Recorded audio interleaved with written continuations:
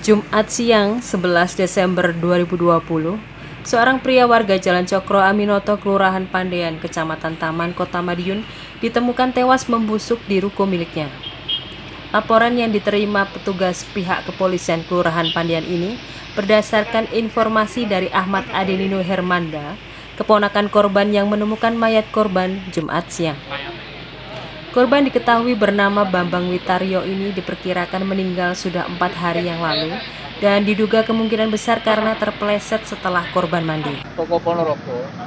Itu tutup terus dimungkinkan sampai kemarin hari Senin tanggal 7 itu sudah tutup terus. Makanya karyawan di dua karyawan dokter itu mencurigai ada bau menyengat sehingga mereka melapor ke RT Pak RW ke Pak Lurah ya, Pak Lurah kemudian langsung ke Polsek kami datang. Ya, ternyata eh, mereka juga telah dibongkar eh, meninggal karena dia mempunyai penyakit bawaan yaitu penyakit gula sehingga gulanya terlalu tinggi dan dia hidup sendirian. Ya, itu jenis kelamin dan? Itu jenis kelamin laki-laki sekitar umurnya 70 tahun. Diperkirakan meninggal berapa hari ya? Diperkirakan meninggalnya Senin sore tanggal 7 itu habis mandi Saat ditemukan kondisinya bagaimana Pak? Nah, itu kan kondisinya tengkurap dan mereka pakai eh, anduk, pakai anduk.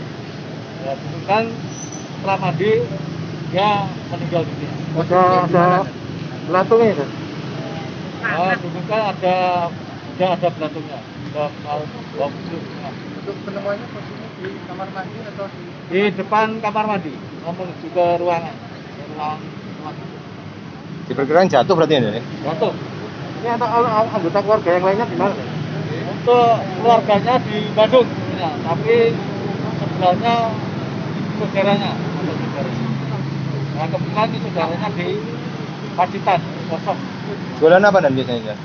Gimana? Jualan apa? Jualan jamu.